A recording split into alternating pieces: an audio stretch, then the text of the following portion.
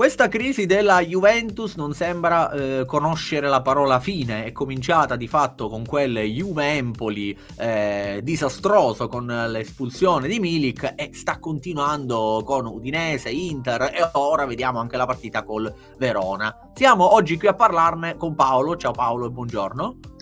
Ciao e ben ritrovati cari amici bianconeri. E allora, se vedete queste immagini al nostro fianco, non è perché abbiamo preso delle immagini così le abbiamo schiaffate là, ma semplicemente perché, perché il buon Paolo ha deciso di andarsi a vedere una bella partita della Juventus perché aveva visto che quest'anno l'annata era positiva. Beh, forse ha scelto la partita un po' meno adatta. Perché Paolo, raccontaci intanto quella che è stata, diciamo, la partita da scelta e poi soprattutto andiamo alla notizia perché si parla di notizie abbastanza interessanti.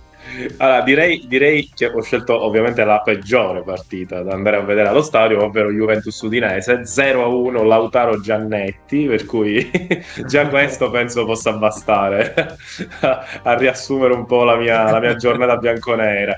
Eh, è stata, sì, è stata comunque una giornata molto bella perché abbiamo passato, ero con mio fratello, abbiamo passato tutta la giornata zona stadium appunto eh, quindi appunto la partita era alle 20.45 quindi praticamente siamo arrivati a ora di pranzo abbiamo fatto il tour del museo infatti queste immagini che state vedendo testimoniano proprio questo il tour del museo della Juve poi abbiamo fatto il tour dello stadio durante appunto diciamo il match day tour viene chiamato perché è il tour nel giorno della partita e poi appunto abbiamo anche vissuto il momento dell'arrivo del pullman, eh, diciamo è stata una giornata eh, letteralmente a tinte bianconere. E poi ovviamente pre-partita è stato fantastico perché lì praticamente non ti annoi un secondo, tra giochi di luci, lo speaker che ti coinvolge, eh, la, la, camera che ti inquadra, fanno anche delle foto tra l'altro che uno può andarsi anche a scaricare eh, dopo, dopo, la partita utilizzando il biglietto, c'è tutta ovviamente un, un, un'organizzazione che te lo rende praticamente quasi uno show. E poi ovviamente appunto la partita che non è andata benissimo, diciamo per usare un eufemismo, e quindi questa Juve che rimane nella crisi, mi viene da dire, rimane, c'è cascata come dici tu contro l'Empoli ed è ancora all'interno della crisi, assolutamente. Allora, io sfrutterei queste immagini per prendere un po' spunto e analizzare la situazione. Ecco, qua in questa immagine noi vediamo tre bandiere, comunque tre grandissimi giocatori. Soprattutto sono i tre palloni d'oro, Zidane, esatto. Ned e Cannavaro. Ecco, tre palloni d'oro, 98, 2003, 2006. Quindi cosa vuol dire pallone d'oro? Grande giocatore, un giocatore super. Ecco, secondo te, anche in virtù di quella che è stata la partita tra Verona e Juventus, Secondo te in questo momento è più un problema di allenatore, quindi ne abbiamo parlato, ma ne parleremo ancora, il fatto di Allegri e quant'altro, oppure magari come dice qualcuno, sì, ok l'allenatore, però a questa Juventus mancano i giocatori importanti, i leader, perché poi quando sei pallone d'oro sei anche un leader, un trascinatore, uno che fa gruppo, che riesce a trascinare la squadra. Secondo te manca anche questo tipo di aspetto, detto, cioè mancano i grandi giocatori, soprattutto i, i, giocatori che trascinano la squadra, almeno soprattutto in virtù della partita di Verona, ma viene anche da pensare anche alla partita dell'Udinese che hai visto da vicino, cioè hai avuto questa impressione dal vivo? Assolutamente sì, assolutamente sì, non ci sono più i Nedved dei Cannavaro di una volta, mi verrebbe da dire, nel senso che eh, la Juve, ok, è una squadra, come abbiamo sempre detto, che è un mix fra veterani quindi giocatori più o meno, tra virgolette, anziani o per meglio dire d'esperienza, e giovani. Il problema eh, è che se noi contiamo, diciamo, quanti sono quelli che possono trasmettere qualcosa a livello carismatico ai giovani della Juve attualmente in rosa. Possiamo Nel frattempo ne metto un altro carismatico, eh? Cioè, eh, direi che proprio lui, proprio lui credo sia proprio la ciliegina sulla torta. e quindi eh, possiamo esatto. parlare di Scesni, possiamo parlare di Rabiot, io a, al Rabiot metto il punto interrogativo, a Danilo metto il punto interrogativo. Cioè, forse è, ha più senso citare Alexandro, dico a prescindere dalle prestazioni in campo, è quello che magari è alla Juve da più anni, quasi un decennio che Alexandro è alla Juve.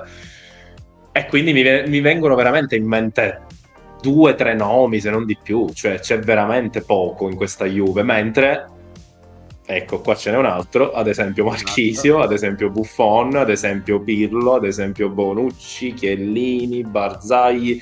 Ne possiamo citare quanti ne sarebbe un altro qui, eh, te ne metto ne sarebbe un altro. Sì. Questa maglia rosa qua, che non ah. è il ciclismo, non è il Giro d'Italia. Io, ma, io, ma io, no, io non, so tu, non, so te il rapporto del Piero, ma io ti dico che se amo il pallone, grazie a questo signore qua, che grazie, Assolutamente. A, grazie a una VHS prestata da un amico che mi ha fatto conoscere il mondo di, del calcio attraverso Alessandro Del Piero. Quindi no, così, tanto per farti e quindi, poi da lì, e quindi poi da lì parte ovviamente la passione per la Juve, ma assolutamente, diciamo che tutti quelli cresciuti nella nostra epoca circa, no? quelli dal 90 in poi, credo che con Del Piero abbiano avuto veramente a che fare. Eh, e quindi, come stavo dicendo, in questo momento nella Juve non, non vedo tantissimi leader carismatici, quindi ok, può prendere la parola Capitan Danilo, per carità, è un giocatore che comunque ha vissuto eh, realtà importanti come il Real Madrid, come il Manchester City, assolutamente. Però anche lui eh, non è alla Juve da così tanto tempo, secondo me, da poter avere quella parola in più. Certo, rispetto ai giovani, ovviamente sì, è ovvio che rispetto a un McKenny, ad esempio, la parola di Danilo è più importante, ha più potenza. Può entrare, può entrare eh, sicuramente in maniera più forte dentro, diciamo, eh, d- diciamo dentro il tessuto no, di questa rosa. Eh, in generale, appunto, io gli unici che ci mettono la faccia, se, infatti, se ci fai caso anche dopo le sconfitte, uno è Scesni, l'altro spesso è Rabiot. Poi difficilmente si vede qualcuno che ci mette la faccia, ecco, oltre a questi giocatori. Quindi diciamo, ecco qua Omar Sivori che ci... la, la figura di Omar Sivori. qual era la vera Juve. Che ci ricorda, esatto, un po' quelli che, che sono i fasti della Juve del, del, passato. Sì, il museo infatti è pieno di queste raffigurazioni, tra l'altro ad altezza uomo, quindi ti fa ripercorrere appunto... Ovviamente, ovviamente, queste immagini sono da te gentilmente proposte, però quella che ti sto per proporre ora ci fa un po' rendere conto di quella che è la, la, l'attualità, ossia l'obiettivo Juventus, perché l'obiettivo è ritornare a, a, giocarsi almeno questa competizione, ossia la Champions League. Ecco, la domanda che ti faccio è a questo punto, in virtù del calendario, ma anche di quella che è la classifica, con, diciamoci la verità, un aiutino da parte del Monza, perché grazie al Eh Monza sì, ieri dobbiamo ringraziare Palladino. Ecco, secondo te questa Juventus che sta vivendo questa crisi, c'è una parte di pubblico che dice occhio perché noi stiamo, davamo per scontato che siamo già in Champions, però lì dietro vanno tutte forti, soprattutto Atalanta e Bologna, e mi sa che una delle due andrà fuori dalla corsa Champions, stanno andando a dei ritmi forsennati, di contro invece la Juventus c'è che fa due punti in quattro partite con Empoli, Udinese e Verona. Per cui la domanda che ti faccio è, a questo punto questo obiettivo qua, di questa coppa qua, torna a essere un punto interrogativo? Cioè, torna in discussione il quarto posto a questo punto? Oppure, eh, oppure si può stare tranquilli? Perché comunque 45 punti, cioè stiamo parlando di 9 punti di differenza. E tra l'altro l'Atalanta ha una partita in meno. Quindi non so, tu come la pensi da questo punto di vista? È ancora una Juventus che è in bilico per la Champions League? Oppure secondo te il discorso Champions è bello che è accantonato?